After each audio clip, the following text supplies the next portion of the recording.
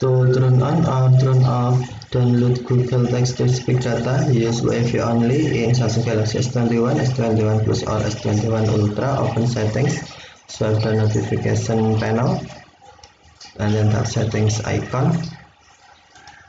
Scroll down settings screen, find general management, and then tap general management. Select text to speak output. And then set preferred engine as Google text to speak engine.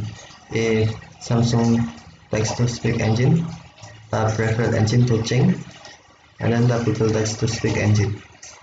Tap back button and then tap uh, gear icon or setting icon on preferred engine.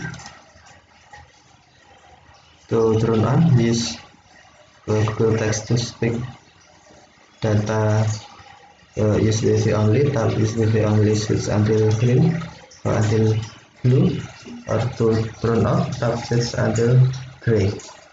Download voice data using only Wi-Fi. This converts conserves data usage. Yeah, thank you for watching. Have a nice day